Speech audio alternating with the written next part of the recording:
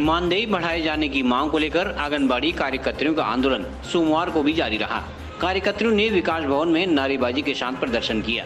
इस मौके पर आंगनबाड़ी कर्मियों ने कहा कि बीते चार साल से सरकार उन्हें गुमराह कर रही है।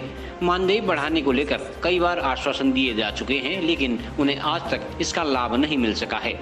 उन्होंने कहा कि मुख्यमंत्री के बागेश्वर आगमन पर उनका स्वागत करने के साथ साथ उन्हें ज्ञापन भी दिया जाएगा।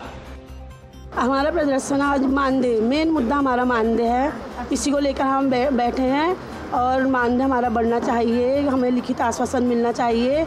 अट्ठारह हज़ार से तो कम नहीं होना चाहिए। बार बार हमको घोषणाएँ होती हैं और कहा जाता है, जाते हैं, बात होती है, वापस आ जाते हैं, लेकिन कुछ फल इसका हासिल नहीं होता है। इसलिए हमारा एक ही, इस समय तो हमारा एक ही एकजुट होकर यही मानदेय का है मसला। यही हमारा पूरा होना चाहिए। अट्ठारह हज़ार इसको होना ही चाहिए। जिस प्रकार से हम काम करते हैं, उसके बदले तो हमें कोई भी दाम नहीं मिल रहा है। और हम सभी बहन अपने घर छोड़ के ऐसे बैठे हैं। सरकार ने थोड़ा बहुत तो सोचना चाहिए कितने कम पैसे में अपना घर कैसे चले जाएँगे मानदेय में।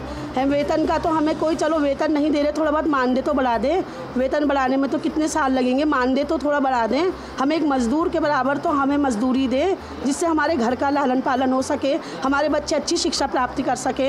हम कभी किसी काम में नहीं हटते हैं। कोविड के टाइम में भी हमने इतनी सेवाएँ करी, पूरी जनता की करी, अपने बच्चे छोड़े, हम भी तो ग्रस्त हो सकते थे। लेकिन हमने ये नहीं सोचा। हमने अपनी ज़िम्मेदारी पूर्ण रूप से पूरी की। ना हमें उसका भी कोई फल नहीं मिला कहा था उसका भी मानदेय मिलेगा। उसका भी हमें कुछ नहीं लाभ दिया गया, लेकिन हमारा मेन मुद्दा मानदेय। ये बढ़ जाएगा, हम खुद ही उड़ जाएँगे हम लोग। परसों को मुख्यमंत्री जी आने वाले हैं, तेरह तारीख को हम अपना ज्ञापन देंगे और उनका स्वागत करेंगे।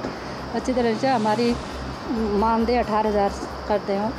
या हमको लिखित रूप में देंगे तब हम उठेंगे नहीं तो हम उठने वाले नहीं हैं यहाँ से। सारे काम हम कर रहे हैं ऑनलाइन हमसे जब हम आँख भी नहीं दिख रहे पर भी हमारा पूरा काम कर रहे हैं अपना फिर भी हमको मतलब ठीक तरह से मानदेय मिलना चाहिए।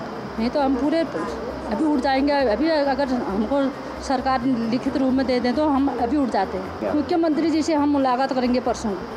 उनका और, और उनका स्वागत भी करेंगे जो हमारे आगे को आश्वासन आश्वासन दे तो उठने वाले नहीं आप लिखित ही लेंगे, हम तभी उठेंगे आज। से न्यूज़ के लिए सुरेश पांडे की रिपोर्ट।